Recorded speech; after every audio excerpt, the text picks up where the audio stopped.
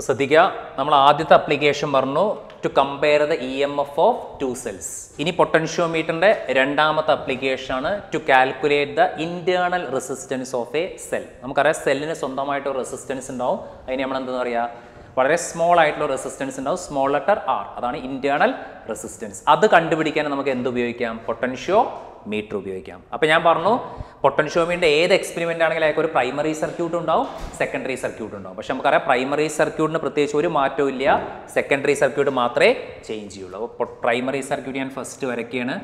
നേരത്തെ വരച്ച അതേപോലെ തന്നെ കാരണം പ്രൈമറി സർക്യൂട്ടിന് പ്രത്യേകിച്ച് ഒരു മാറ്റവും ഇല്ല. അല്ലേ? ഈ പോയിന്റ് ആയിരിക്കും എ ഈ പോയിന്റ് ആയിരിക്കും ബി ആ വയർ ഇവിടുന്ന് തുടങ്ങി ഇങ്ങനെ പോയി പോയി പോയി പോയി ഇവിടെ എത്തി. അല്ലേ? ഇനി നമ്മൾ എന്ത് ചെയ്യും? ഈ പ്രൈമറി സർക്യൂട്ടിന്റെ ഈ എൻഡ് നമ്മൾ എന്ത് ചെയ്യും? ഒരു ഇ പിയിലേക്ക് കണക്ട് ചെയ്യും. പ്രൈമറി സെല്ലിലെ പ്രൈമറി ഒരു സെല്ലുണ്ടാവും അതിനാണ് ഇ പി എന്ന് പറയപ്പെടും പിന്നെ ഇവിടെ ഒരു കീ ഉണ്ടാവും. ആ കീ നമുക്ക് എന്ത് ചെയ്യാം? കെ പി എന്ന് എടുക്കാം. കാരണം പ്രൈമറിയിലെ കീ ആണ് കെ പി പിന്നെ അമ്മീറ്റർ ഉണ്ടാവും. പിന്നെ കറസ്പോണ്ടിങ് ആയിട്ട് ആരുണ്ടാവും? റിയോ സ്റ്റാറ്റ് ഉണ്ടാവും. അല്ലേ? ഇതാണ് ആർ എച്ച് റിയോ സ്റ്റാറ്റ് അല്ലേ?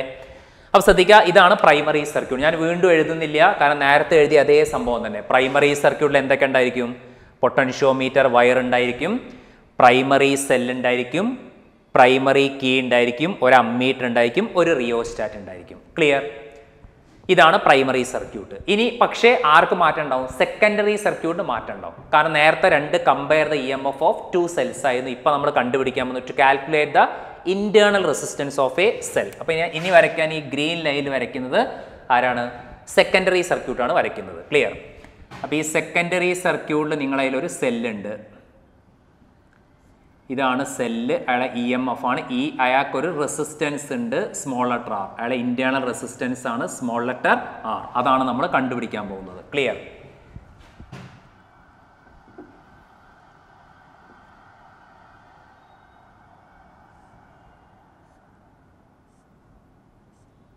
പിന്നെ നമ്മൾ ഇവിടെ ഒരു റെസിസ്റ്റൻസ് കണക്ട് ചെയ്യും.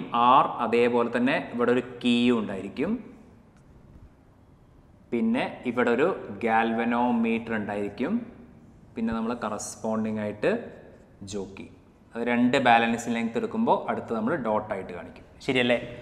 അപ്പോൾ ഇതാണ് സെക്കൻഡറി സർക്യൂട്ട് അപ്പോൾ നമ്മൾ പറഞ്ഞു പ്രൈമറി സർക്യൂട്ടിന് പ്രത്യേകിച്ച് ഒരു മാറ്റവും ഇല്ല. സെയിം നമ്മൾ നേരത്തെ വരച്ച അതേ സംഭവം തന്നെ സെക്കൻഡറി സർക്യൂട്ട് മാത്രമാണ് മാറ്റേണ്ടത് അല്ലേ? ആ പ്രൈമറി സർക്യൂട്ട് നിങ്ങൾ എഴുതുക ഇതേ അതേ സംഭവങ്ങൾ വീണ്ടും റിപ്പീറ്റ് ചെയ്ത് എഴുതുക. പിന്നെ സെക്കൻഡറി സർക്യൂട്ട് എഴുതുമ്പോൾ ശ്രദ്ധിക്കണം. സെക്കൻഡറി സർക്യൂട്ടിൽ ആരൊക്കെ ഉണ്ട്? സെക്കൻഡറി സർക്യൂട്ടിൽ ഇവിടെ ഒരു കീ ഉണ്ട്. കെ എന്നുള്ളൊരു കീ ഉണ്ട്. ഇവിടെ ഞാൻ കെ പി ആണ് എടുത്തത്. ഇവിടെ വേറൊരു കീ ഉണ്ട്. കെ അപ്പോൾ സെക്കൻഡറി സർക്യൂട്ടിൽ ഇപ്പോൾ ആരൊക്കെ ഉള്ളത്? പ്രൈമറി സർക്യൂട്ട് ഞാൻ പറഞ്ഞു അല്ലേ? പ്രൈമറി സർക്യൂട്ട് ഞാൻ വീണ്ടും എഴുതുന്നില്ല. പ്രൈമറി സർക്യൂട്ട് സെയിം നമ്മൾ നേരത്തെ എഴുതിയ അതേ സംഭവങ്ങൾ തന്നെ. ഇനി നിങ്ങൾ സെക്കൻഡറി സർക്യൂട്ട് ശ്രദ്ധിക്കുക. സെക്കൻഡറി സർക്യൂട്ടിൽ ആരുണ്ട്? ഒരു സെല്ലുണ്ട് അല്ലേ? സെല്ലിന്റെ ഇ എം എഫ് ഇ അയാളെ ഇന്റേണൽ റെസിസ്റ്റൻസ് അയാളെ ഇന്റേണൽ റെസിസ്റ്റൻസ് ആണ് ആര്? സ്മോൾ ലെറ്റർ ആർ ക്ലിയർ പിന്നെ അവിടെ ഒരു റെസിസ്റ്റൻസ് ബോക്സ് ഉണ്ട് അല്ലേ? റെസിസ്റ്റൻസ് ഉണ്ട് ആർ റെസിസ്റ്റൻസ് ആണ് അത് നോൺ ആട്ടോ. ഈ റെസിസ്റ്റൻസ് നമുക്കറിയാം. ഒരു നോൺ റെസിസ്റ്റൻസ് ബോക്സ് ഉണ്ട്. അതാണ് ആറ് പിന്നെ അവിടെ ആരുണ്ട്? ഒരു കീ ഉണ്ട് കെ എന്ന് പറഞ്ഞ ഒരു കീ ഉണ്ട് അല്ലേ പിന്നെ ഗാൽവനോമീറ്റർ ഉണ്ട് ജോക്കി ഉണ്ട്. ഇത്തരം സംഭവങ്ങളാണ് ഇവിടെ ഉള്ളത്. സെക്കൻഡറി സർക്യൂട്ട് ഉള്ളത്. പ്രൈമറി സർക്യൂട്ട് ഞാൻ നേരത്തെ പറഞ്ഞ പോലെ തന്നെ. ശരിയല്ലേ? ഇനി നമുക്കറിയാം ഈ സെല്ലിന് ഈ സ്മോൾ ലെറ്റർ ആർ എന്ന് പറഞ്ഞാൽ ഇന്റേണൽ റെസിസ്റ്റൻസ് ഉണ്ട്. അതാണ് നമ്മൾ എന്ത് ചെയ്യാൻ പോകുന്നത്? ഈ എക്സ്പെരിമെന്റ് ഉപയോഗിച്ച് കണ്ടുപിടിക്കാൻ പോകുന്നത്. ക്ലിയർ അപ്പൊ ആദ്യം നമ്മൾ ചെയ്ത ഫസ്റ്റ് സംഭവം എന്താണ്? ആദ്യം ആരെ ക്ലോസ് ചെയ്യുക close primary circuit close primary circuit adjust എന്താണ്? Adjust R H make constant current in primary circuit clear അപ്പോൾ ആദ്യം ചെയ്ത അതേ സംഭവം തന്നെ നിങ്ങൾ ഈ ഈ കീ ക്ലോസ് ചെയ്യുക അതിനുശേഷം റിയോസ്റ്റാറ്റ് കുറച്ച് അഡ്ജസ്റ്റ് ചെയ്യുക എന്നിട്ട് അമ്മീറ്റിൽ ഒരു കറണ്ട് കാണിക്കും. ആ current should be constant experiment കഴിയുന്നവരെ. അപ്പോൾ ഒരു കറണ്ട് കിട്ടിക്കഴിഞ്ഞാൽ നിങ്ങളെ റിയോസ്റ്റാറ്റ് കുറച്ച് നീക്കി ഈ അമ്മീറ്റിൽ ഒരു കറണ്ട് കിട്ടിക്കഴിഞ്ഞാൽ പിന്നെ നിങ്ങൾ എക്സ്പെരിമെന്റ് കഴിയുന്നവർ അത് ചേഞ്ച് ചെയ്യാൻ പാടില്ല. കാരണം നമ്മുടെ പ്രിൻസിപ്പിൾ തന്നെ ഐ കോൺസ്റ്റന്റ് ആയിരിക്കണം. ക്ലിയർ അപ്പോൾ അത് കഴിഞ്ഞു. പ്രൈമറി സർക്യൂട്ട് ക്ലോസ് ചെയ്തു കോൺസ്റ്റന്റ് കറണ്ട് ആക്കി. ഇനി നമ്മൾ ശ്രദ്ധിക്കേണ്ട കാര്യം എന്താണ്? ഇനിയാണ് നമ്മൾ സെക്കൻഡറി സർക്യൂട്ട് നോക്കേണ്ടത്. സെക്കൻഡറി സർക്യൂട്ട് അപ്പോൾ പ്രൈമറി സർക്യൂട്ട് കഴിഞ്ഞു. ഇനി സെക്കൻഡറി സർക്യൂട്ട് നോക്കുക സെക്കൻഡറി സർക്യൂട്ടിൽ ആദ്യം എന്ത് ചെയ്യാൻ മീൻസ് ആ കെ എന്നുള്ള സംഭവം നിങ്ങൾ ഓപ്പൺ ആക്കി വെക്കുക. കെ എന്നുള്ള സംഭവം എന്താണ്? ഓപ്പൺ കാരണം ഇവിടെ ഒരു കീ ഉണ്ട്. ആ കീ എന്തായിരിക്കണം? ഓപ്പൺ ഓപ്പൺ എന്ന് പറയുമ്പോൾ അതിലൂടെ എന്ത് പാസ് ചെയ്യൂല? അതിലൂടെ കറണ്ട് പാസ് ചെയ്യൂല. കാരണം എന്തുകൊണ്ടാണ്? കാരണം ഈ ഇത് ഈ പാത്തിലൂടെ കറണ്ടിന് പാസ് ചെയ്യാൻ പറ്റില്ല. കറണ്ട് ഇങ്ങനെ മാത്രമേ പാസ് ചെയ്യുള്ളൂ. ക്ലിയർ എന്നിട്ട് എന്ത് ചെയ്യുക K open move J jockey from A to B until galvanometer shows zero deflection galvanometer null അല്ലെങ്കിൽ സീറോ ഡിഫ്ലക്ഷൻ ആവുന്നവരെ മൂവ് ചെയ്യുക. അപ്പോൾ ശ്രദ്ധിക്കുക സെക്കൻഡറി സർക്യൂട്ട് ഫസ്റ്റ് എന്ത് ചെയ്യണം? ഈ കെ എന്ന് പറഞ്ഞ സംഭവം ഓപ്പൺ ആക്കി വെക്കുക. ഓപ്പൺ ആക്കി വെച്ചതിന് ശേഷം നിങ്ങൾ എന്ത് ചെയ്യുക? ഈ സംഭവം ഇങ്ങനെ മൂവ് ചെയ്യുക അണ്ടിൽ ദ ഗാൽവനോമീറ്റർ ഇവിടെ എത്തുമ്പോൾ ഷോസ് നൾ ഡിഫ്ലക്ഷൻ ക്ലിയർ അപ്പോൾ നമുക്കറിയാം അവിടുത്തെ ബാലൻസ് ലെങ്ത് നിങ്ങൾക്ക് എൽ വൺ കിട്ടും. അപ്പോൾ എൽ വൺ കറസ്പോൺസ് നമ്മൾ നേരത്തെ എഴുതിയ പോലെ തന്നെ ഈ പ്രപ്പോർഷണൽ ടു എൽ വൺ എന്ന് എഴുതാം. ഈ proportional to L one clear കാരണം എന്തുകൊണ്ടാണ്? ഇതിപ്പോൾ ഓപ്പൺ ആണോ ക്ലോസ്ഡ് ആണോ? ഓപ്പൺ ആണ്. കാരണം ഇതിലൂടെ കറണ്ട് പാസ് ചെയ്യുന്നില്ല. ക്ലിയർ അപ്പോൾ ഈ പ്രപ്പോർഷണൽ ടു എൽ വൺ അപ്പോൾ ഇതിൽ എൽ വൺ എന്താണ്? എൽ വൺ എന്ന് പറയുന്നത് balancing length for E one balancing length corresponds to E one അല്ലെങ്കിൽ balancing length of E one എന്ന് എഴുതിയാൽ മതി. Balancing length of E one clear E one അല്ല ഇ എന്ന് പറഞ്ഞ ഒറ്റ സെല്ലേ ഉള്ളൂ. അപ്പോൾ ഇ എടുക്കാം. എൽ വൺ എന്ന് പറയുന്നത് balancing length of E clear അപ്പോൾ ഈ പ്രപ്പോർഷൻ എന്ത് കിട്ടി? എൽ വൺ കിട്ടി. ഇക്വേഷൻ വൺ ക്ലിയർ ഇനി നിങ്ങൾ ചെയ്യേണ്ട കാര്യം എന്താണെന്ന് വെച്ചാൽ സെക്കൻഡറി സർക്യൂട്ടിനെ കെ നിങ്ങൾ ക്ലോസ് ചെയ്യുക കെ നിങ്ങൾ എന്ത് ചെയ്യുക? ക്ലോസ് ചെയ്യുക. അപ്പോൾ ഈ കെ ക്ലോസ് ചെയ്ത് കഴിഞ്ഞാൽ എന്ത് സംഭവിക്കും? കുറച്ച് കറണ്ട് ഇതിലൂടെ ഫ്ലോ ചെയ്യാൻ തുടങ്ങും. ക്ലിയർ അപ്പോൾ കെ ആദ്യം ഓപ്പൺ ആയിരുന്നു. ഓപ്പൺ ആയിട്ട് നിങ്ങൾ കറസ്പോണ്ടിങ് ആയിട്ടുള്ള ബാലൻസ് ലെങ്ത് കണ്ടു. ഗാലോമീറ്റർ ഷോസ് നൽ ഡിഫ്ലക്ഷൻ അപ്പോൾ നിങ്ങൾക്ക് ഈ പ്രപ്പോർഷൻ ടു എൽ വൺ കിട്ടി. ഇനി അടുത്തതിൽ നിങ്ങൾ എന്ത് ചെയ്യണം? ഈ കീ ക്ലോസ് ചെയ്യുക. ക്ലോസ് ചെയ്ത് കഴിഞ്ഞാൽ ഇപ്പോൾ ഇതിലൂടെ കറണ്ട് പാസ് ചെയ്യാൻ തുടങ്ങും. വീണ്ടും ഈ ഇതേ സംഭവം റിപ്പീറ്റ് ചെയ്യുക. K close repeat the same repeat the same repeat the same എന്ന് പറഞ്ഞാൽ എന്താണ്?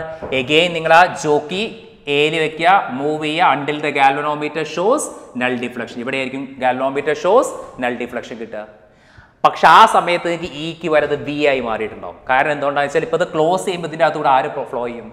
കറണ്ട് ഫ്ലോ ചെയ്യും. കറണ്ട് ഫ്ലോ ചെയ്യുമ്പോൾ അത് ഇ എം എഫ് ആണോ? പൊട്ടൻഷ്യൽ ഡിഫറൻസ് ആണോ? പൊട്ടൻഷ്യൽ ഡിഫറൻസ് അതിനെ നമ്മൾ എന്താ പറയുക ടെർമിനൽ പൊട്ടൻഷ്യൽ ഡിഫറൻസ് എന്ന് പറയാം. ക്ലിയർ കാരണം ആദ്യം ഓപ്പൺ ആയിരുന്നു. ഇപ്പം എന്താണിത്? ക്ലോസ്ഡ് ക്ലോസ്ഡ് ആകുമ്പോൾ E M F converted in terminal potential difference. അപ്പോൾ നമ്മൾ ചെയ്യുമ്പോൾ എന്ത് കിട്ടും? V proportional to L two കിട്ടും. V proportional to L two clear അതിന്റെ അർത്ഥം വി എന്താണ്? സോറി വി അല്ല എൽ ടു എന്താണ്? എൽ ടു എന്ന് പറഞ്ഞത് balancing length of terminal potential difference of the cell ശ്രദ്ധിക്കണം. ആദ്യം നമുക്ക് എന്താ കിട്ടിയത്? ഈ പ്രപ്പോർഷൻ എൽ വൺ അതെന്ന് പറഞ്ഞാൽ എന്താണ്? ബാലൻസി ലെങ്ത് ഓഫ് ഇ ഈ എന്ന് സെല്ലിന് കറസ്പോണ്ടിങ് ആയിട്ട് ബാലൻസി ലെങ്ത് ആണ്. കാരണം ഇത് ഓപ്പൺ സർക്യൂട്ട് ആണ്. ഇപ്പോൾ അതിലൂടെ കറണ്ട് ഫ്ലോ ചെയ്യാൻ തുടങ്ങി. കറണ്ട് ഫ്ലോ ചെയ്യാൻ തുടങ്ങുമ്പോൾ potential difference E M F change ചെയ്തിട്ട് ആരായി മാറും? പൊട്ടൻഷ്യൽ ഡിഫറൻസ് ആയി മാറും. ടെർമിനൽ പൊട്ടൻഷ്യൽ ഡിഫറൻസ് അയാൾക്ക് കറസ്പോണ്ടിങ് ആയിട്ടുള്ള ബാലൻസിങ് ലെങ്ത് ആണ് എൽ ടു അപ്പോൾ എന്ത് കിട്ടി? എൽ ടു എന്ന് പറഞ്ഞാൽ balancing length of terminal potential difference of the സെല്ലാണ് clear ഇപ്പോൾ ഇവിടെ നമുക്ക് എന്ത് ചെയ്യും? ഈ പ്രപ്പോർഷൻ ടു എൽ വൺ എന്ന് പറഞ്ഞാൽ ഈ ഈസിക്കൽ കെ എൽ വൺ വരും. ഇവിടെ V equal to K L two വരും. അപ്പോൾ ഡിവൈഡ് ചെയ്യുമ്പോൾ നമുക്ക് എന്ത് കിട്ടും? E by V E by V equal to എന്ത് കിട്ടും?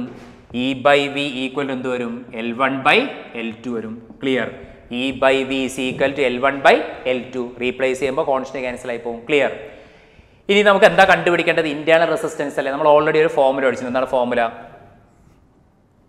V equal to E minus I R അല്ല നമ്മൾ പഠിച്ച formula terminal potential ഡിഫറൻസിന്റെ formula V is equal E minus I R അപ്പൊ ഐ ആർ എന്ത് വരും? I R equal to I R equal to എന്ത് വരും? ഇ മൈനസ് ബി വരും. E minus B വരും. ശരിയല്ലേ? അപ്പോൾ ആർ എന്ത് കിട്ടും? R is equal to E minus B by I വരില്ലേ? E minus V by I ഈ ഐ നമുക്ക് എന്ത് ചെയ്യുക കറണ്ട് നമുക്ക് ഓംസ്ലോ ഉപയോഗിച്ച് എന്ത് ചെയ്യുക I is equal V by R അല്ലേ? I is equal to V by R Ohm's law പ്രകാരം. അപ്പോൾ നമുക്ക് സബ്സ്റ്റിറ്റ്യൂട്ട് ചെയ്യുമ്പോൾ എന്ത് കിട്ടും? R is equal to E minus V dividing by ഐക്ക് വരെ എന്ത് വരും? വി ഇന്റു ആർ വരും. ഇതാണ് ശരിക്കും നമുക്ക് ഇന്റേണൽ റെസിസ്റ്റൻസ് നമുക്ക് എങ്ങനെ ചെയ്താൽ കിട്ടുക? സെല്ലിന്റെ ഇ എം എഫ് ഒക്കെ വെച്ച് ചെയ്താൽ കിട്ടുക. നമ്മളിപ്പോൾ അതൊന്നും ചെയ്യുന്നില്ല. ഞാനത് എങ്ങനെ കിട്ടിയെന്ന് പറയാൻ വേണ്ടിയിട്ടാണ് ആർ എടുത്തത്. അപ്പോൾ V equal E minus I R I R equal E minus V R equal E minus V by I ഐക്ക് വരം വി ബൈ ആർ അപ്പോൾ E minus V by V into R നമ്മൾ ഇതൊന്നും ചെയ്യേണ്ട ആവശ്യമില്ല. സാധാരണ നമ്മൾ പൊട്ടൻഷ്യോമീറ്റർ ഉപയോഗിക്കാണ്ട് സെല്ലൊക്കെ ഉപയോഗിച്ച് നമ്മൾ E M F internal results കാണാൻ പറഞ്ഞാൽ നമുക്ക് എന്തൊക്കെ വേണം? ആ സെല്ലിന്റെ ഇ എം എഫ് അറിയണം. അയാളുടെ ടെർമിനൽ പൊട്ടൻഷ്യൽ ഡിഫറൻസ് അറിയണം. അവിടുത്തെ റെസിസ്റ്റൻസ് കാരണം. ഇത്രയും വേണ്ടേ. പക്ഷെ നമ്മളത് ഇതിലേക്ക് മാറ്റുമ്പോൾ എന്ത് ചെയ്താൽ മതി? ഇ ബൈ വി എന്ന് പറഞ്ഞാൽ എപ്പോഴാരാണ് L one by L two അല്ലേ? അപ്പോൾ നമുക്ക് എന്ത് ചെയ്യാം? Means R is equal to ഇക്ക് കറസ്പോണ്ടിങ് ആയിട്ട് ലെങ്ത് ആരാ വരിക? എൽ വൺ ആണ് വരിക. കാരണം നമ്മൾ ഈ ഇക്വേഷൻ രണ്ടായിട്ട് എഴുതിയാൽ E by V minus one എന്നൊക്കെ എഴുതി കൂടെ കാരണം E minus V by V ആണ്. അതിന് നമുക്ക് എന്ത് ചെയ്താൽ E by V minus one എഴുതാം. E by wick L one by L two എഴുതാം. അത് ചുരുക്കി പറഞ്ഞാൽ ഇക്ക് കറസ്പോണ്ടിങ് ആയിട്ട് എൽ വൺ കൊടുത്താൽ മതി. വിക്ക് കറസ്പോണ്ടിങ് ആയിട്ട് എൽ ടു കൊടുത്താൽ മതി. അപ്പോൾ നമുക്ക് എന്ത് കിട്ടും? R is equal to L one minus L two dividing by L two into R അപ്പോൾ ഇങ്ങനെയാണ് നമ്മൾ ഇന്റേണൽ റെസിസ്റ്റൻസ് കണ്ടുപിടിക്കുക. ഒരു സെല്ലിന്റെ ഇന്റേണൽ റെസിസ്റ്റൻസ് അപ്പോൾ ഒരു സെല്ലിന്റെ ഇന്റേണൽ റെസിസ്റ്റൻസ് കണ്ടുപിടിക്കാൻ നമുക്ക് എന്ത് ചെയ്താൽ മതി? ആ സർക്യൂട്ടിൽ കണക്ട് ചെയ്ത ഈ റെസിസ്റ്റൻസിന്റെ വാല്യൂ നമുക്കറിയാം. പിന്നെ എന്ത് മതി? ജസ്റ്റ് അവരെ ബാലൻസ് ലെങ്ത് കണ്ടാൽ മതി. ഇത്രയൊന്നും ചെയ്യേണ്ട ആവശ്യമില്ല. ഇതാണ് ശരിക്കും എന്റെ നോർമൽ ഫോമുല പക്ഷെ നമുക്ക് പൊട്ടൻഷ്യോമീറ്റർ ഉപയോഗിച്ച് എന്ത് ചെയ്യുക ആദ്യം ഇക്ക് കറസ്പോണ്ടിങ് ആയിട്ടുള്ള ബാലൻസ് ലെങ്ത് ആണ് എൽ വൺ വിക്ക് കറസ്പോണ്ടിങ് ആയിട്ട് ബാലൻസ് ലെങ്ത് ആണ് എൽ ടു വെറും ബാലൻസ് ലെങ്ത്തും ആ റെസിസ്റ്റൻസും വെച്ച് നമുക്ക് എന്ത് കണ്ടുപിടിക്കാൻ പറ്റും? Internal resistance of a cell clear അപ്പോൾ ഇതാണ് പൊട്ടൻഷ്യോമീറ്ററിന്റെ രണ്ട് experiment to compare the E M F of the സെല്ലും to calculate the internal resistance of a സെല്ലും രണ്ടും ചെയ്യാൻ നമ്മൾ എന്ത് ചെയ്താൽ മതി? ജസ്റ്റ് കറസ്പോണ്ടിങ് ആയിട്ടുള്ള ബാലൻസിങ് ലെങ്ത് കണ്ടാൽ മതി. എന്താണ് ഈ ബാലൻസിങ് ലെങ്ത് എന്ന് പറഞ്ഞാൽ? ഗാലുലോമീറ്റർ നൾ ഡിഫ്ലക്ഷൻ കാണിക്കാൻ ആവശ്യമായ ലെങ്ത്തിനെ നമ്മൾ എന്താ പറയുക ബാലൻസിങ് ലെങ്ത് പിന്നെ ഞാൻ ഓൾറെഡി ഇതിന്റെ അഡ്വാന്റേജ് പറഞ്ഞു. വോൾട്ട് മീറ്ററിനെക്കാട്ടിയും അഡ്വാന്റേജസ് ആണ് പൊട്ടൻഷ്യോമീറ്റർ അതിന് കാരണം എന്താണ്? പൊട്ടൻഷ്യോമീറ്റർ വർക്ക് ചെയ്യുന്നത് നൾ ഡിഫ്ലക്ഷൻ മെത്തേഡിലാണ് അയാൾ ഒരിക്കലും സർക്യൂട്ടിൽ നിന്ന് എന്തെടുക്കൂല കറണ്ട് എടുക്കൂല. പക്ഷേ വോൾട്ട് മീറ്റർ സർക്യൂട്ടിൽ നിന്ന് വളരെ സ്മോൾ എമൗണ്ട് ഓഫ് കറണ്ട് എടുക്കും. പിന്നെ അതേപോലെ തന്നെ ഈ വയേഴ്സ് ആയിട്ട് നമ്മൾ ഉപയോഗിക്കുന്നത്. ഈ പൊട്ടൻഷ്യോമീറ്ററിന്റെ വയറായിട്ട് നമ്മൾ ഉപയോഗിക്കാറ്. ഒന്നുകിൽ നമുക്ക് നിക്രോമിന് ഉപയോഗിക്കാം. അല്ലെങ്കിൽ മാൻഗാനിൻ നമ്മളൊരു മെറ്റീരിയൽ ഉണ്ട്. അല്ലെങ്കിൽ ഇതൊക്കെ അലോയിസ് ആണ്. കോൺസ്റ്റന്റ് ആൻ കോൺസ്റ്റന്റ് ആൻ അപ്പോൾ സാധാരണ ഈ പൊട്ടൻഷ്യോമീറ്ററിന്റെ വയറ് അല്ലെങ്കിൽ മീറ്റർ ബ്രിഡ്ജിന്റെ വയറൊക്കെ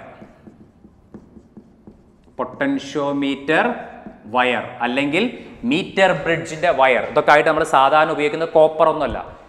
കാരണം ഈ കോപ്പറൊക്കെ ടെമ്പറേച്ചറിനെ പെട്ടെന്ന് ഡിപ്പെൻഡ് ചെയ്യും. ടെമ്പറേച്ചറിനെ ഡിപ്പെൻഡ് ചെയ്ത് കഴിഞ്ഞാൽ ആ റെസിസ്റ്റൻസും റെസിസ്റ്റിവിറ്റിയൊക്കെ മാറും. അപ്പോൾ അത് കാരണം നമ്മൾ എന്ത് ചെയ്യണം? ടെമ്പറേച്ചറിനെ ലീസ്റ്റ് ഡിപ്പെൻഡന്റ് ആയിട്ടില്ല. അപ്പോൾ നമ്മൾ നിക്രോം ഉപയോഗിക്കാം അല്ലെങ്കിൽ മാൻഗാനിൻ മാംഗനീസിന്റെ ഒരു അലോയിയാണ് മാൻഗാനിൻ അല്ലെങ്കിൽ കോൺസ്റ്റന്റാൻ അപ്പോൾ ഈ മെറ്റീരിയലാണ് നമ്മൾ സാധാരണ പൊട്ടൻഷ്യോമീറ്ററിന്റെ വയറായിട്ട് യൂസ് ചെയ്യാറ്. ഇത് യൂസ് ചെയ്യാനുള്ള കാരണം എന്താണെന്ന് വെച്ച് കഴിഞ്ഞാൽ ഇവർ least temperature coefficient of resistance ആണ്. ഇവർ ടെമ്പറേച്ചർ വളരെ ലീസ് കാരണം നമ്മൾ ഓരോ ക്ലൈമറ്റിൽ എക്സ്പെരിമെന്റ് ചെയ്യുമ്പോൾ ടെമ്പറേച്ചർ മാറിയാൽ റെസിസ്റ്റൻസ് റെസിസ്റ്റിവിറ്റി ഒക്കെ മാറും. അപ്പോൾ അത് പ്രശ്നമാകും അപ്പോൾ അത് ഒഴിവാക്കാൻ വേണ്ടിയിട്ട് ഇവരൊക്കെ ലീസ്റ്റ് ടെമ്പറേച്ചർ ഡിപ്പെൻഡൻസ് ആണ്. അതുകൊണ്ടാണ് ഈ മെറ്റീരിയൽ നമ്മൾ സാധാരണ എന്തിനു വേണ്ടി ഉപയോഗിക്കാറ്? പൊട്ടൻഷ്യോമീറ്റർ വയർ അല്ലെങ്കിൽ മീറ്റർ ബ്രിഡ്ജ് വയറൊക്കെ കൺസ്ട്രക്ട് ചെയ്യാൻ യൂസ് ചെയ്യാറ്. ക്ലിയർ ശ്രദ്ധിക്കുക. കറണ്ട് ഇലക്ട്രിസിറ്റിയിലെ ലാസ്റ്റ് ടോപ്പിക്കാണ് ഹീറ്റിംഗ് എഫക്റ്റ് ഓഫ് ഇലക്ട്രിക് കറണ്ടും അതേപോലെ തന്നെ ഇലക്ട്രിക് പവറും അപ്പോൾ ഇതിൽ നമുക്ക് ഡെറിവേഷൻസ് ഒന്നുമില്ല. ജസ്റ്റ് രണ്ട് മൂന്ന് ഇക്വേഷൻസ് മാത്രമേ പഠിക്കാനുള്ളൂ. അപ്പോൾ എന്താണ് ഈ heating effect of electric current എന്ന് പറഞ്ഞു കഴിഞ്ഞാൽ? ശരിക്കും ജൂൾസ് ആണ് ഇത് കണ്ടുപിടിച്ചത്. ജൂൾ ഓഫ് ഹീറ്റിംഗ് എന്നാണ് പറയുന്നത്. നമ്മൾ സാധാരണ അയൺ ബോക്സ് ഒക്കെ ഉണ്ടല്ലേ? ഈ അയൺ ബോക്സ് നമ്മൾ സ്വിച്ച് ഓൺ ചെയ്ത് കഴിഞ്ഞാൽ ഇലക്ട്രിക്കൽ എനർജി ഹീറ്റ് എനർജി ആയിട്ട് കൺവേർട്ട് ചെയ്യും അല്ലേ? അതാണ് ശരിക്കും heating effect of electric current എന്ന് പറയുന്നത്. Electrical energy converted into heat energy ഇത് തന്നെയാണ് നമ്മുടെ ഫ്യൂസ് ഉണ്ട്. നമ്മുടെ വീട്ടിലെ ഫ്യൂസ് വയറൊക്കെ എന്ത് ചെയ്യാറുണ്ട്? ചിലപ്പോൾ അത് മെൽറ്റ് ചെയ്യാറുണ്ട് അല്ലേ? നമ്മൾ ഓവർലോഡിങ്ങോ അല്ലെങ്കിൽ എക്സസ് ഓഫ് ഫ്ലോ ഒക്കെ ഉണ്ടെങ്കിൽ സേഫ്റ്റിക്ക് വേണ്ടിയിട്ട് എന്ത് ചെയ്യാറുണ്ട്? ഈ ഫ്യൂസ് വയർ ബ്രേക്ക് ആവാറുണ്ട്. അവിടെയും ഹീറ്റിംഗ് എഫക്റ്റ് ആണ് അത് മെൽറ്റ് ചെയ്യുന്നത് ആ ഹീറ്റ് ഉപയോഗിച്ചിട്ടാണ്. അതേപോലെ തന്നെ നമ്മൾ ഇലക്ട്രിക് ഹീറ്റർ ഉപയോഗിക്കാറുണ്ട് ടോസ്റ്റർ അപ്പോൾ ഇങ്ങനത്തെ സംഭവങ്ങളൊക്കെ വർക്ക് ചെയ്യുന്നത് ഏത് പ്രിൻസിപ്പിൾ അനുസരിച്ചാണ്? Heating effect of electric current അപ്പോൾ ജൂൾ പറയുന്നത് എന്താ വെച്ചാൽ according to Joule's law of heating according to Joule's law of heating ആ എച്ചിന്റെ ഫോമുല വരുന്നത് H equal to I square R T ആണ്. നമുക്ക് ആ ഫോമുല മാത്രമേ പഠിക്കാനുള്ളൂ. H equal to I square R T അപ്പോൾ according to Joule's law of heating ആ heat energy produce ചെയ്യുന്നത് equal to I square R T ആണ്. H is directly proportion to I square എന്നാണ് Joule പറയുന്നത്. Directly proportion to R directly proportion to T അങ്ങനെ proportionality constant unity ആയിരിക്കും. Replace ചെയ്യുമ്പോൾ നമുക്ക് എന്ത് കിട്ടും? H equal to I square R T H ആണ് ഹീറ്റ് എനർജി പ്രൊഡ്യൂസ് ചെയ്തത്. അത് ഐ എന്നാണ് കറണ്ട് ആണ്. അതിലൂടെ പാസ് ചെയ്യുന്ന കറണ്ട് ആർ എന്ന് പറഞ്ഞാൽ കോയിലിന്റെ റെസിസ്റ്റൻസ് അപ്പോൾ നമ്മൾ നിക്രോമ് ഫിലമെന്റ് അങ്ങനെ ഓരോ നിക്രോമ് അതേപോലെ തന്നെ ടെങ്സ്റ്റൻ ഇങ്ങനത്തെ സംഭവങ്ങളൊക്കെ നമ്മൾ ഉപയോഗിക്കാറുണ്ട്. അപ്പോൾ അതിനൊരു റെസിസ്റ്റൻസ് ഉണ്ടായിരിക്കും. ആറ് ടി എന്ന് പറഞ്ഞാൽ ടൈമാണ് സ്മോൾ ലെറ്റർ ടി ശ്രദ്ധിക്കണം ടൈമാണ് അപ്പോൾ H is equal to I square R T ഇതാണ് ഒരു ഇക്വേഷൻ ഹീറ്റ് ഫോം ചെയ്യുന്ന ഒരു ഇക്വേഷനാണ് H is equal I square R T ഇനി നമുക്ക് എന്ത് ചെയ്യാന്ന് വെച്ചാൽ ഇതിൽ മൂന്ന് ഇക്വേഷൻസ് ഉണ്ട്. ഓരോ ക്വസ്റ്റ്യൻ അനുസരിച്ചാണ് നമ്മളിത് ചെയ്യുക. അപ്പോൾ നമ്മൾ എന്ത് ചെയ്യാം? മീൻസ് അടുത്ത് നമുക്ക് in terms of Ohm's law പ്രകാരം നമുക്ക് എന്ത് ചെയ്യാം? I is equal to V by R അല്ലേ? ഓംസ് ലോ പ്രകാരം ഐ ഇസ് സീക്കൽ എന്താണ്? വി ബൈ ആർ അപ്പോൾ സബ്സ്റ്റിറ്റ്യൂട്ട് ചെയ്യുമ്പോൾ നമുക്ക് എന്ത് കിട്ടും? എച്ച് സീക്വൽ ടു ഐക്ക് വരെ സബ്സ്റ്റിറ്റ്യൂട്ട് ചെയ്യും അപ്പോൾ എന്ത് വരും? V square by I square എന്ന് പറയുക V square by R square അതിൽ ഒരു ആർ ക്യാൻസൽ ആവില്ലേ അപ്പോൾ നമുക്ക് എന്ത് കിട്ടും? H equal to V square by R into T കിട്ടും. ശരിയാണോ? കാരണം ഞാൻ ഐ സ്ക്വയർ എന്ന് പറയാം V square by R square അപ്പോൾ ഒരു ആറും ഒരു ആറും ക്യാൻസൽ ആവും. അപ്പോൾ ഒരു ആറ് ബാക്കി ഉണ്ടാവും പിന്നെ V square by R into T clear ഇതാണ് രണ്ടാമത്തെ ഇക്വേഷൻ അല്ലേ? ഇനി നമുക്ക് എന്ത് ചെയ്യാം? ഈ സി ആറിനെ റീപ്ലേസ് ചെയ്യാൻ പറ്റും. ആറ് ടു എന്താണ്? വി ബൈ ഐ ആണ്. R equal to V by I അപ്പോൾ ആറിന് പകരം വി ബൈ ഐ എടുക്കുമ്പോൾ ഒരു ഐ ഐ ക്യാൻസൽ ആവും. അപ്പോൾ അവസാനം എച്ച് എന്ത് കിട്ടും? H equal to V I T കിട്ടും. ക്ലിയർ അല്ലേ? H equal to V I T അപ്പോൾ ശ്രദ്ധിക്കുക നമ്മൾ സാധാരണ ഒരു കോയിലിൽ ഹീറ്റ് ജനറേറ്റ് ചെയ്യുന്നത് കണ്ടുപിടിക്കാൻ മൂന്ന് ഇക്വേഷൻസ് ഉപയോഗിക്കാറുണ്ട്. H equal I square R T ഇതാണ് ജൂൾസ് ലോ ഓഫ് ഹീറ്റിംഗ് എന്ന് പറയുന്നത്. അതുപയോഗിച്ച് ഐനെ നമുക്ക് വി ബൈ ആർ ആയിട്ട് റീപ്ലേസ് ചെയ്യുമ്പോൾ V square by R into T കിട്ടും. അതേപോലെ തന്നെ ആറിനെ വി ബൈ ഐ വെച്ച് നമ്മൾ റീപ്ലേസ് ചെയ്യുമ്പോൾ H equal V I T കിട്ടും. ക്ലിയർ എങ്ങനെ സംഭവിക്കുക മീൻസ് ഈ കോയിൽ നമ്മൾ കണക്ട് ചെയ്യുന്ന സമയത്ത് ഈ ന്യൂമറിക്കൽസ് നമ്മൾ ഓരോ ഇക്വേഷൻസ് വെച്ച് ചെയ്യണം. ഇപ്പം ചിലപ്പോൾ നിങ്ങൾക്ക് കറണ്ട് അറിയാമെന്നായിരിക്കാം കറണ്ട് അറിയാമെങ്കിൽ ഐ സ്ക്വയർ ആർ ടി ഉപയോഗിച്ച് തന്നാൽ മതി. ചിലപ്പം വി ആണ് നിങ്ങൾക്ക് അറിയാം. അപ്പോൾ V square by R T വെച്ച് ചെയ്യുക. ചിലപ്പോൾ ഒരു സീരീസ് ആയിട്ട് കണക്ട് ചെയ്യും. ഇപ്പോൾ രണ്ട് ഹീറ്റിംഗ് കോയിൽ സീരീസ് ആയിട്ട് കണക്ട് ചെയ്താൽ നിങ്ങൾ ഈ ഫോമിൽ ഉപയോഗിക്കുന്നതാണ് എളുപ്പം. കാരണം സീരീസ് ആയിട്ട് കണക്ട് ചെയ്യുമ്പോൾ ഇതിലൂടെ പാസ് ചെയ്യുന്ന ആര് സെയിം ആയിരിക്കും? കറണ്ട് സെയിം ആയിരിക്കും. അപ്പോൾ നിങ്ങൾക്ക് ഇത് വെച്ച് ചെയ്യുന്നതാണ് എളുപ്പം. കാരണം ഇത് വെച്ച് ചെയ്താൽ ഓരോരുത്തരുടെ ഇടയ്ക്കുള്ള വോൾട്ടേജ് ആണ് ഡിഫറന്റ് ആണ്. ചിലപ്പോൾ എന്ത് ചെയ്യാന്ന് വെച്ചാൽ ഈ രണ്ട് ഹീറ്റിംഗ് കോയിൽ പാരലായിട്ട് കണക്ട് ചെയ്യും. അപ്പോൾ നിങ്ങൾ ഈ ഫോമിൽ ഉപയോഗിച്ച് ചെയ്യുന്നതാണ് എളുപ്പം. കാരണം എന്താണ്? പാരലായിട്ട് കണക്ട് ചെയ്യുമ്പോൾ അവർക്കിടയിലുള്ള വോൾട്ടേജ് സെയിം ആയിരിക്കും. അപ്പോൾ റേഷ്യോ കാണുമ്പോൾ ഇത് ഉപയോഗിച്ചാൽ മതി. അപ്പോൾ ഓരോ ക്വസ്റ്റ്യൻ അനുസരിച്ചാണ് നമ്മൾ എന്ത് ചെയ്യുക? ഓരോ ഇക്വേഷൻസ് യൂസ് ചെയ്യുക. എന്നാൽ നമ്മൾ ഇനി ക്വസ്റ്റ്യൻ ചെയ്യുന്ന സമയത്ത് നമുക്ക് ക്ലിയർ ആവും.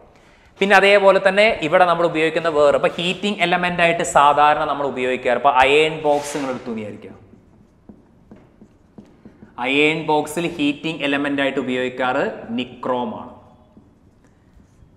സോ അയൺ ബോക്സിൽ നമ്മൾ സാധാരണ ഹീറ്റിംഗ് എലമെന്റ് ആയിട്ട് ഉപയോഗിക്കാറ് അലോയാണ് അലോയിയാണ് നിക്രോം ഇയാളെ പ്രത്യേകം എന്താ വെച്ചാൽ ഇയാൾക്ക് high resistivity high melting point ആയിരിക്കും. നമ്മൾ സാധാരണ അയൺ ബോക്സിൽ നിക്രോമാണ് ഹീറ്റിംഗ് കോയിലായിട്ട് ഉപയോഗിക്കാറ്. ഇയാൾക്ക് ഹൈ റെസിസ്റ്റിവിറ്റി ആയിരിക്കും ഹൈ മെൽറ്റിംഗ് പോയിന്റ് ആയിരിക്കും. കാരണം ഹീറ്റ് ഒന്നും മെൽറ്റ് ചെയ്യാൻ പാടില്ല. അല്ലേ? കോയിൽ മെൽറ്റ് ചെയ്യാൻ പാടില്ല മാക്സിമം ഹീറ്റ് വരണം. അപ്പോൾ ഹൈ റെസിസ്റ്റിവിറ്റി ആൻഡ് ഹൈ കാരണം റെസിസ്റ്റിവിറ്റി കൂടണം. കാരണം റെസിസ്റ്റിവിറ്റി കൂടുമ്പോൾ റെസിസ്റ്റൻസ് കൂടും. അപ്പോഴല്ല കൂടുതൽ ഹീറ്റ് ജനറേറ്റ് ചെയ്യുക so high resistivity and high melting point അതേപോലെ നമ്മൾ സാധാരണ ഫ്യൂസ് ഉപയോഗിക്കാറുണ്ടല്ലേ വീട്ടിൽ ഈ ഷോർട്ട് സർക്യൂട്ട് ഉണ്ടായാൽ അല്ലെങ്കിൽ ഓവർലോഡിംഗ് ഒക്കെ ഉണ്ടായി കഴിഞ്ഞാൽ ഈ ഫ്യൂസ് ബ്രേക്ക് ആവും. അപ്പോഴാണ് നമ്മുടെ എക്യുപ്മെന്റ് ഒക്കെ വീട്ടിലുള്ള ഇലക്ട്രോണിക് എക്യുപ്മെന്റ് ഒക്കെ സേഫ് ആവുക. അപ്പോൾ അതിന് വേണ്ടിയിട്ട് ഫ്യൂസ് നമ്മൾ ഫ്യൂസ് നമ്മൾ സാധാരണ ഉപയോഗിക്കുന്നത് alloy of tin and lead ആണ്. അപ്പോൾ ടിന്നിന്റെയും ലെഡിന്റെയും അലോയിയാണ് ശരിക്കും ഫ്യൂസ് വയറിന് വേണ്ടി ഉപയോഗിക്കുന്നത്. അപ്പോൾ ഫ്യൂസ് വയറിന് വേണ്ടി ഉപയോഗിക്കുന്ന മെറ്റീരിയൽ എന്താണ്? Alloy of tin and lead. അപ്പോൾ ഇയാളെ പ്രത്യേകം എന്താ വെച്ചാൽ ഇയാൾക്കും ഹൈ റെസിസ്റ്റിവിറ്റി ആയിരിക്കും പക്ഷേ ലോ മെൽറ്റിംഗ് പോയിന്റ് ആയിരിക്കും. ശ്രദ്ധിക്കണം. അപ്പോൾ ഈ ഫ്യൂസിന്റെ പ്രത്യേകത എന്താ വെച്ചാൽ അയാൾക്ക് ഹൈ റെസിസ്റ്റിവിറ്റി. കാരണം എന്നാലേ ഹീറ്റ് ജനറേറ്റ് ചെയ്തത് മെൽറ്റ് ആവുള്ളൂ. പിന്നെ മെൽറ്റിംഗ് പോയിന്റ് ലോ ആണ്. കാരണം അത് മെൽറ്റ് ചെയ്യണം. കാരണം ഇയാൾക്ക് ഹൈ മെൽറ്റിംഗ് പോയിന്റ് അത് മെൽറ്റ് ചെയ്ത് പോകാൻ പാടില്ല. പക്ഷേ ഫ്യൂസ് മെൽറ്റ് ചെയ്താലേ നമ്മൾ ചെയ്യുള്ളൂ നമ്മുടെ സർക്യൂട്ട് വീട് സേഫ് ആവുള്ളൂ. കാരണം കറണ്ട് അതിൽ വീടിന്റെ അകത്തേക്ക് വരില്ല. അപ്പോൾ പുറത്തുള്ള ഫ്യൂസ് മെൽറ്റ് ആവണം. മെൽറ്റ് ആയാലാണ് നമുക്ക് വീട് ഉള്ള എക്യുപ്മെന്റ്സ് സേഫ് എന്ന് പറയാം. അപ്പോൾ എന്താവണം? High resistivity low melting point ആയിരിക്കണം ഫ്യൂസ് വയർ ക്ലിയർ പിന്നെ അതേപോലെ നമ്മൾ ഫിലമെന്റിൽ നമ്മൾ എന്താ ഉപയോഗിക്കാറ്? ആണ് ഉപയോഗിക്കാറ്. ഫിലമെൻ ലാമ്പിലൊക്കെ നമ്മൾ ഉപയോഗിക്കാറ് എന്താണ്? ഫിലമെന്റ് ഫിലമെന്റ് ആയിട്ട് നമ്മൾ സാധാരണ ഉപയോഗിക്കാറ് ടെങ്സ്റ്റൺ ആണ്. ടെങ്സ്റ്റന്റെ പ്രത്യേകത എന്താണെന്ന് വെച്ചാൽ ഇയാൾക്കും ഹൈ മെൽറ്റിംഗ് പോയിന്റ് ആയിരിക്കും പക്ഷേ ലോ റെസിസ്റ്റിവിറ്റി ആയിരിക്കും. ഹൈ മെൽറ്റിംഗ് പോയിന്റ് ആയിരിക്കും ലോ റെസിസ്റ്റിവിറ്റി ആയിരിക്കും. ക്ലിയർ? അപ്പോൾ ഇതാണ് നമ്മൾ സാധാരണ ഹീറ്റിംഗ് കോയിലായിട്ട് സാധാരണ യൂസ് ചെയ്യാറുള്ള സംഭവങ്ങൾ. പിന്നെ അതേപോലെ തന്നെ ഇവിടെ നമ്മൾ ഉപയോഗിക്കുന്ന ടേമാണ് കെ ഡബ്ല്യു എച്ച് എന്ന സംഭവം. കിലോ വാട്ട് അവർ അത് ഞാൻ അടുത്ത് പവറിന്റെ കൂടെ പറയാം. അപ്പോൾ ഇതാണ് heating effect of electric current അല്ലേ? ഇനി നമ്മൾ സാധാരണ അടുത്തത് ഞാൻ പറയാൻ പോകുന്നത് പവറാണ് ഇലക്ട്രിക് പവർ അപ്പോൾ heating effect of electric current കഴിഞ്ഞു. ഇനി അടുത്ത എന്താണ്? പവർ പവർ കണ്ടുപിടിക്കാൻ നമുക്ക് എളുപ്പമാണ്. എന്താണ് പവർ റേറ്റ് ഓഫ് ഡൂയിങ് വർക്കാണ് വർക്ക് ബൈ ടൈം അല്ലെങ്കിൽ എനർജി ബൈ ടൈം ആയാലും മതി. എനർജി ബൈ ടൈം അല്ലേ? കാരണം വർക്ക് തന്നെ എനർജി ആയിട്ട് കൺവേർട്ട് ചെയ്യുക ആ പവർ കണ്ടുപിടിക്കാൻ വർക്ക് ബൈ ടൈം അല്ലെങ്കിൽ എനർജി ബൈ ടൈം പക്ഷേ ഇവിടെ എന്ത് എന്ത് ഫോമിലാണ് എനർജി ഹീറ്റ് എനർജിയാണ് അപ്പോൾ എച്ച് ബൈ ടി ഉണ്ടാ മതി. അല്ലേ? കാരണം നമ്മൾ ഡിസ്കസ് ചെയ്യുന്നത് ഹീറ്റിംഗ് എഫക്റ്റ് ഓഫ് ഇലക്ട്രിക് കറണ്ടും ഇലക്ട്രിക് പവറാണ് ജനറലി പവറാണ് വർക്ക് ബൈ ടൈം നമ്മൾ ഡിസ്കസ് ചെയ്യുന്ന ഇലക്ട്രിക് പവർ അപ്പോൾ അത് കണ്ടുപിടിക്കാൻ എനർജി ബൈ ടൈം ഇവിടെ ഏത് ഫോമിലാണ് എനർജി നമ്മൾ കിട്ടിയത്? ഹീറ്റ് എനർജി അപ്പോൾ എച്ച് ബൈ ടി അപ്പോൾ എല്ലാ ഇക്വേഷൻ എന്ത് ചെയ്താൽ മതി? ആ ടി അങ്ങോട്ട് ഒഴിവാക്കിയാൽ നിങ്ങൾക്ക് പവറിന്റെ ഫോമുല കിട്ടി. കാരണം എല്ലാത്തിനും ടി ആയിട്ട് ഡിവൈഡ് ചെയ്യണം. ടി ആയിട്ട് ഡിവൈഡ് ചെയ്യുമ്പോൾ ടി ടൈം ക്യാൻസൽ ആവും. അപ്പോൾ ആദ്യത്തെ ഫോമിൽ എന്ത് കിട്ടി? Power P is equal to എന്ത് കിട്ടി? I square R P equal to I square R രണ്ടാമത്തെ formula P P equal to V square by R കിട്ടും. മൂന്നാമത്തെ formula P equal to V I അപ്പോൾ ഹീറ്റിന് മൂന്ന് ഇക്വേഷൻ ഉണ്ടെങ്കിൽ കറസ്പോണ്ടിങ് ആയിട്ട് പവറിനും മൂന്ന് ഇക്വേഷൻസ് വരും. P equal I square R P equal V square by R P equal V I ഇത് ഞാൻ നേരത്തെ പറഞ്ഞ പോലെ ഡിപ്പെൻസ് ഓരോ ക്വസ്റ്റ്യൻ അനുസരിച്ചാണ് നമ്മൾ ഈ ഒരു സംഭവം യൂസ് ചെയ്യുക. ക്ലിയർ കാരണം എപ്പോഴും ബൾബുകളൊക്കെ അവർ തരും. സീരീസ് പാരലായിട്ടോ കണക്ട് അപ്പോൾ സീരീസ് ആയിട്ട് കണക്ട് ചെയ്യുക അപ്പോൾ രണ്ട് ബൾബ് നിങ്ങൾ സീരീസ് ആയിട്ട് കണക്ട് ചെയ്യുന്നതായിരിക്കാം ബൾബിൻ സീരീസ്. അപ്പോൾ അതിന്റെ അർത്ഥം ഈ രണ്ട് ബൾബുകളാണ് നിങ്ങൾ സീരീസ് ആയിട്ട് കണക്ട് ചെയ്യുന്നതായിരിക്കുക സീരീസ് ആയിട്ട് കണക്ട് ചെയ്തു. നിങ്ങൾ കൊടുത്ത വോൾട്ടേജ് വി ആണ് വിചാരിക്കുക. അല്ലേ? അപ്പോൾ ഈ ബൾബിന് ഒരു റെസിസ്റ്റൻസ് ഉണ്ടാവും ആർ ആർ വൺ ഈ ബൾബിന് ഒരു റെസിസ്റ്റൻസ് ഉണ്ടാവും ആർ ടു അപ്പോൾ സീരീസ് ആയിട്ട് കണക്ട് ചെയ്താൽ ഇതിലൂടെ പാസ് ചെയ്യുന്ന ആര് സെയിം ആയിരിക്കും? ഐ സെയിം ആയിരിക്കും. ക്ലിയർ അപ്പോൾ നിങ്ങൾ ഇത് സോൾവ് ചെയ്യാൻ ഏത് ഇക്വേഷൻ ഉപയോഗിക്കുന്ന നല്ലത്? ഇത്. കാരണം രണ്ടിന്റെ വോൾട്ടേജ് ഡിഫറന്റ് ആയിരിക്കും. കാരണം ഇയാൾക്കിടയിലുള്ള വോൾട്ടേജ് വി ടു വരികയാണെങ്കിൽ ഇയാൾക്കിടയിലുള്ള വോൾട്ടേജ് ബി വൺ വരും. ആ വോൾട്ടേജ് നമ്മൾ എളുപ്പം അപ്പോൾ ഈ ഫോമിൽ ഉപയോഗിച്ചാൽ മതി. അപ്പോൾ പി വൺ എന്ത് വരും? പി വൺ സീക്കറ്റ് കറണ്ട് സെയിം ആണ്. അപ്പോൾ എന്ത് ചെയ്താൽ മതി? ഐ സ്ക്വയർ ആർ വൺ കണ്ടാൽ മതി. അതേപോലെ പി ടു എന്ത് വരും? പി ടു സീക്കറ്റ് കറണ്ട് സെയിം ആണ്. ഐ സ്ക്വയർ ആർ ടു ചെയ്താൽ മതി. ബൾബ് സീരീസ് ആകുമ്പോൾ ക്ലിയർ ഇനിയിപ്പോൾ ഇതേ സംഭവം തന്നെ ബൾബ് പാരലായിട്ട് വന്നു എന്ന് വിചാരിക്കാം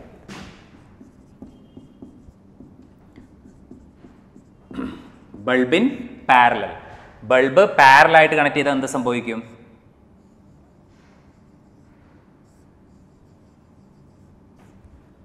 സോ ബൾബ് നമ്മൾ പാരലായിട്ട് കണക്ട് ചെയ്ത് കഴിഞ്ഞാൽ സോറി സീരീസ് ആണ് ബൾബ് എന്ത് ചെയ്യുക പാരലായിട്ട് നമ്മൾ കണക്ട് ചെയ്യുക സോ ഇങ്ങനെ കണക്ട് ചെയ്യുക ഇതിനെ നമ്മൾ എന്ത് ചെയ്യുക പാരലൽ കണക്ഷൻ അപ്പോൾ രണ്ട് ബൾബ് ഞാൻ പാരലായിട്ട് കണക്ട് ചെയ്തു. അല്ലേ? അപ്പോൾ ഇയാളെ റെസിസ്റ്റൻസ് ചെയ്യാൻ ആർ വൺ എടുത്തു. ഇയാൾ ഈ ബൾബിന്റെ റെസിസ്റ്റൻസ് ചെയ്യാൻ ആർ ടു എടുത്തു. നമുക്കറിയാം പാരലായിട്ട് കണക്ട് ചെയ്യുമ്പോൾ രണ്ടിലൂടെയും പാസ് ചെയ്യുന്ന കറണ്ട് ഡിഫറന്റ് ആയിരിക്കും. കാരണം ഇയാൾ കൊടുക്കുന്ന കറണ്ട് ഐ ആണെങ്കിൽ ഇതിലൂടെ പാസ് ചെയ്യൽ ഐ വൺ ആയിരിക്കും ഇതിലൂടെ പാസ് ചെയ്യൽ എന്തായിരിക്കും? ഐ ടു പക്ഷെ രണ്ടാൾക്കിടയിലുള്ള ആര് സെയിം ആയിരിക്കും? വോൾട്ടേജ് സെയിം ആയിരിക്കും പാരലൽ അപ്പോൾ ഏത് ഫോമുല നല്ലത്? ഈ ഫോമുല അപ്പോൾ പി വൺ സീക്കൽ എന്ത് ചെയ്താൽ മതി? P one equal to V square by R one കാരണം വോൾട്ടേജ് സെയിം ആയിരിക്കും രണ്ടിൽ പി ടു സീക്കൽ എന്ത് വരും? P two is to V square by R two clear അപ്പോൾ ഇങ്ങനെ നമ്മൾ സാധാരണ ബൾബിന്റെ സീരീസും പാരലൊക്കെ വരുന്ന ഓരോ ക്വസ്റ്റ്യൻ അനുസരിച്ചാണ് നമ്മൾ ചെയ്യുക. ഇനി കോയിൽസ് കണക്ട് ചെയ്യുമ്പോഴും ഇങ്ങനെ തന്നെയാണ്. ഹീറ്റ് കണ്ടുപിടിക്കുമ്പോഴും നമ്മൾ നോക്കുക. കറണ്ട് വെച്ചാൽ ഇത് ഉപയോഗിക്കണോ ഇത് ഉപയോഗിക്കണമെങ്കിൽ ഇത് ഉപയോഗിക്കണമെന്ന് അപ്പോൾ ഓരോ ക്വസ്റ്റ്യൻ അനുസരിച്ച് ഓരോ ഇക്വേഷൻസ് ആണ് വരിക. ക്ലിയർ പിന്നെ അതേപോലെ തന്നെ ചിലപ്പോൾ ഈ പവറിന്റെ റേറ്റിംഗ് ഒക്കെ അവർ കൊടുക്കാറുണ്ട്. എന്നിട്ട് ചിലപ്പോൾ പറയും ഇത് കണക്ട് ചെയ്ത് കഴിഞ്ഞാൽ ഫ്യൂസ് ആവോ? അങ്ങനത്തെ സംഭവങ്ങളൊക്കെ ചോദിക്കുമ്പോൾ നമ്മൾ എന്ത് ചെയ്താൽ വെച്ചാൽ ഇപ്പം നിങ്ങൾ കേൾക്കുക. A bulb a bulb rated hundred watt two twenty volt അപ്പോൾ നമ്മുടെ സാധനം ഇങ്ങനെയൊക്കെ ക്വസ്റ്റ്യൻസ് തരണം അപ്പോൾ എന്ത് ചെയ്യുന്നത് a bulb rated hundred watt and two twenty volt അപ്പോൾ അവരൊരു ബൾബ് കൺസ്ട്രക്ട് ചെയ്തു. ആ ബൾബിന്റെ അലോ ചെയ്ത വോൾട്ടേജ് എത്രയാണ്? ടു ട്വന്റി വോൾട്ട് അവിടുത്തെ പവർ എത്രയാണ്? ഹൺഡ്രഡ് വാട്ടും അപ്പോൾ അതിന്റെ മീനിങ് എന്താണെന്ന് വെച്ച് കഴിഞ്ഞാൽ this bulb can tolerate maximum voltage two twenty ആണ്. അതിന്റെ അർത്ഥം ഈ ബൾബിലൂടെ നിങ്ങൾക്ക് കൊടുക്കാവുന്ന മാക്സിമം വോൾട്ടേജ് എത്രയാണ്? ടു ട്വന്റി ആണ്. അപ്പോൾ അതിന്റെ അർത്ഥം എന്താ വെച്ചപ്പോൾ ഇത് നിങ്ങൾക്ക് ഓൾറെഡി ഞാൻ തന്ന ബൾബ് ഉണ്ട്. നിങ്ങൾക്ക് ആ ബൾബ് ടു ട്വന്റി ആണ് റേറ്റിംഗ് അതൊക്കെ അതിൽ എഴുതിയിട്ടുണ്ടാവും. ഈ ബൾബ് നിങ്ങളൊരു ടു ട്വന്റി വോൾട്ടുമായിട്ട് കണക്ട് ചെയ്ത് വിചാരിക്കുക. അപ്പോൾ ഇതാണ് ടു ട്വന്റി വോൾട്ട് ഈ ബൾബ് നിങ്ങളൊരു ടു ട്വന്റിയുമായിട്ട് കണക്ട് ചെയ്ത് വിചാരിക്കുക. ടു ട്വന്റിയുമായിട്ട് കണക്ട് ചെയ്താൽ ഒരു പ്രശ്നമില്ല ഈ ബൾബ് വർക്ക് ചെയ്യും. ഇനിയിപ്പോൾ അത് ഇരുന്നൂറ് വോൾട്ട് ആണെങ്കിലും വർക്ക് ചെയ്യും. നൂറ് വോൾട്ട് ആണെങ്കിലും ഇത് വർക്ക് ചെയ്യും. പ്രശ്നമൊന്നുമില്ല. കാരണം അയാൾക്ക് മാക്സിമം അയാൾക്ക് എത്ര വോൾട്ടേജ് വരെ അതിൽ പാസ് ചെയ്യാൻ പറ്റും? ഇരുന്നൂറ്റി ഇരുപത് അപ്പോൾ ഇരുന്നൂറ്റി ഇരുപതോ ഇരുന്നൂറ്റി ഇരുപതിൽ കുറവോ വോൾട്ടേജ് കൊടുത്തു കഴിഞ്ഞാൽ പ്രശ്നമൊന്നുമില്ല. ആ ബൾബ് ഫ്യൂസ് ആവില്ല പക്ഷെ അതിൽ പകരം നിങ്ങളൊരു മുന്നൂറ് വോൾട്ട് കൊടുത്താൽ എന്ത് സംഭവിക്കും? അപ്പോൾ ആ ബൾബ് ഫ്യൂസ് ആവും. അതിന്റെ അർത്ഥം അയാളെ ടോളറേറ്റ് ചെയ്യാൻ പറ്റുന്ന വോൾട്ടേജ് ടു ട്വന്റി വോൾട്ട് ആണ്. അതിൽ കൂടുതൽ വോൾട്ടേജ് കൊടുത്തു കഴിഞ്ഞാൽ എന്ത് സംഭവിക്കും? നിങ്ങൾ ആ ഈ ബൾബ് എടുത്തിട്ട് ഒരു മുന്നൂറ് വോൾട്ടിലേക്ക് നിങ്ങൾക്ക് കണക്ട് ചെയ്യാൻ പറ്റില്ല. കാരണം അതിലെ മാക്സിമം ഇതിന്റെ റേറ്റിംഗ് എത്രയാണ്? ടു ട്വന്റി വോൾട്ട് അതേപോലെ തന്നെ ഇയാളെ കറണ്ട് വേണമെങ്കിൽ നിങ്ങൾക്ക് കണ്ടുപിടിക്കാൻ പറ്റും. കറണ്ട് എങ്ങനെ കണ്ടുപിടിക്കുക? കാരണം നമുക്ക് പവർ അറിയാം വോൾട്ടേജ് അറിയാം. അപ്പോൾ പി സീക്കൽ എന്താണ് ഫോർമുല